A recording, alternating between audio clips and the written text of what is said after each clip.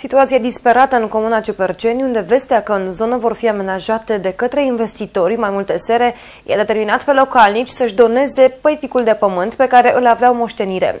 Asta în speranța că vor putea avea un loc de muncă pentru copiii lor, însă investitorii nu au mai apărut nici astăzi, iar oamenii au rămas doar cu speranță. Vestea că în comună vor veni mai mulți întreprinzători care vor construi aici mai multe sere și, în plus, va fi construit și un parc fotovoltaic, i-a determinat pe mai mulți localnici să-și doneze terenurile. Oamenii au obținut atunci promisiunea că vor avea un loc de muncă, numai că timpul a trecut, iar oamenii încă mai așteaptă ca serele să fie înființate.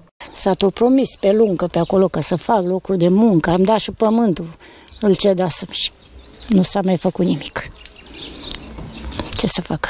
La cine ați cedat pământul? Păi au, a fost prima dată o asociație și pe urmă cedat că că vin cu niște sere, cu nu știu ce mai bine. Noi l-am dat, că ne-a promis că ne angajează copiii, dar că nu a venit nimeni să investească acolo. Speranțele pentru investiții în comună s-au spulberat, asta pentru că investitorii nu și-au mai făcut apariția, iar parcul fotovoltaic nu va mai fi construit.